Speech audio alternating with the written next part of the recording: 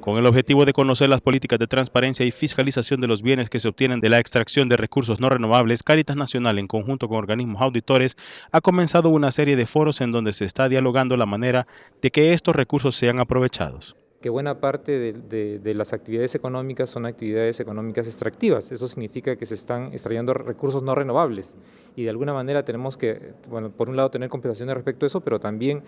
estar atentos a que cuando sacan esos recursos, bueno, tenemos que ver cómo, cómo sigue nuestra actividad económica. El encargado de Caritas Nacional, presbítero Germán Calix, manifiesta que el problema que se tiene es la falta de verdaderas políticas para el aprovechamiento de estos recursos o la manera con la que se manejan.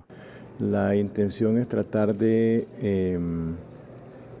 de parte del gobierno, tratar de hacer posible que eh, haya más inversiones para que generen más, más ingresos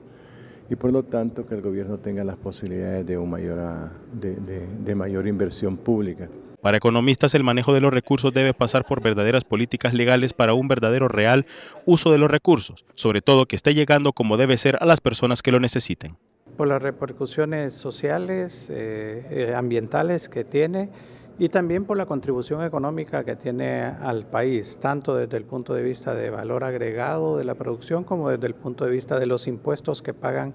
tanto a nivel nacional como a nivel municipal. Con este foro se quiere saber también cuáles son las necesidades de las comunidades que están siendo afectadas por la explotación de los recursos naturales y sobre todo para conocer si realmente se hace un racional uso de los mismos. En Notifides le invitamos a fomentar una cultura por la paz en Cámara Ludin Durón, les informó Marco Cálix.